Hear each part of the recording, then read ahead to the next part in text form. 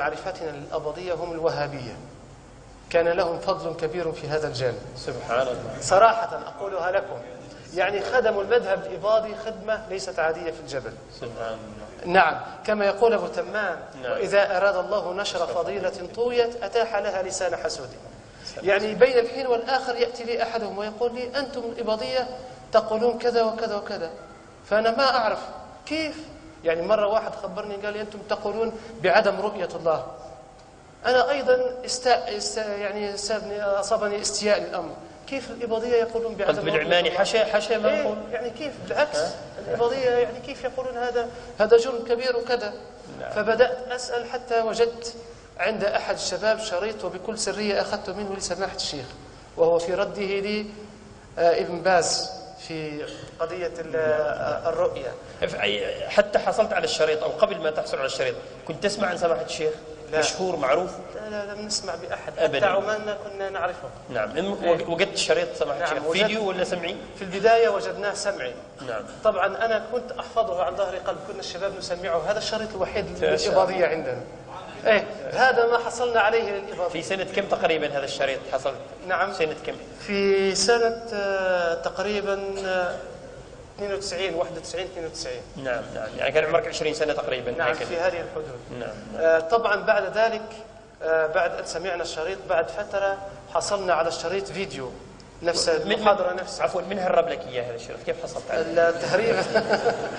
التهريب هذا كان ما ما تخاف يعني ما حد يمسك. لا خلاص. الأمور خلاص انتهى القذافي الآن يعني إلى لا الرجعة. طبعا التهريب كان يحدث من تونس. من تونس، نعم، نعم, نعم، نعم. الشباب كان بارك الله فيهم بين الحين والآخر يذهب أحدهم ويأتي بشيء أيوه. ويهرب تهريب.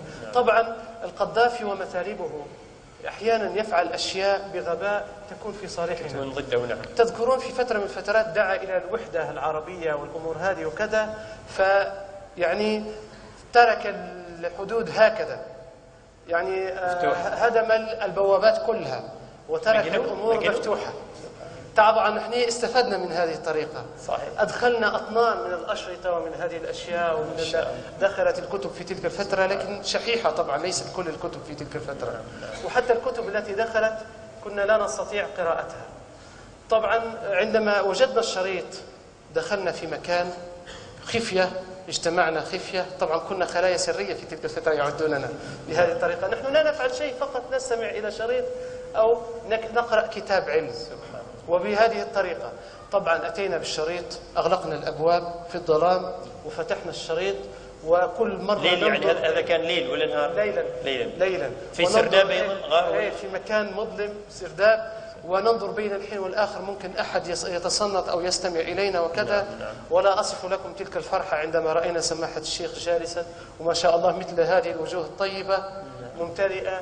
وأصبح من هناك عمان وهناك علماء في عمان وهناك سماحة الشيخ وكذا فخلاص من تلك الفترة يعني بدأت الثقة أكثر وبدأنا أكثر قوة من من ذي قبل يعني في تلك الفترة. وما زال مشايخنا طبعا لم يكسروا حاجز الخوف بعد. صحيح. ما زالوا هم الذين يخيفوننا. سبحان كما قلت لكم نذهب إليهم وهم الذين يرجعوننا إلى الوراء ويخيفوننا من